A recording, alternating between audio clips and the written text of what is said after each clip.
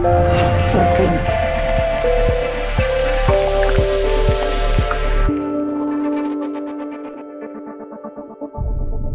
guys, it's Sharmarke Gamer here. Today's video guys, I will show you GTA 5 online money glitch. So if you are around here, subscribe for daily GTA 5 and uh, if you are enjoyed, hit the like. And uh, so let's start. You're gonna drive here and when you have done this, you're gonna take a random car and call to Merryweather. After that, you simply drive up to the garage and your front tire must be past the line right there.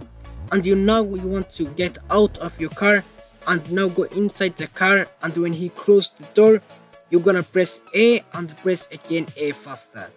So once the game story loads up you can simply back out so you will spam here.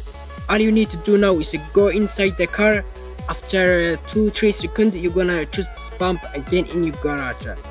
Now just get outside and take the car into garage. And if you see now I have two car so now we're gonna sell the duplicated car. Because if we sell the original I think we can not do again the glitch.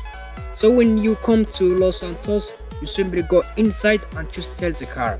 You see we have get uh, over $100,000 and I will show you the original car if you want to be featured in my next video make sure to comment below using hashtag GTA5 money glitch and I will choose uh, two of you to be in my next video. You see we have not lost the original car and now you can do again and again.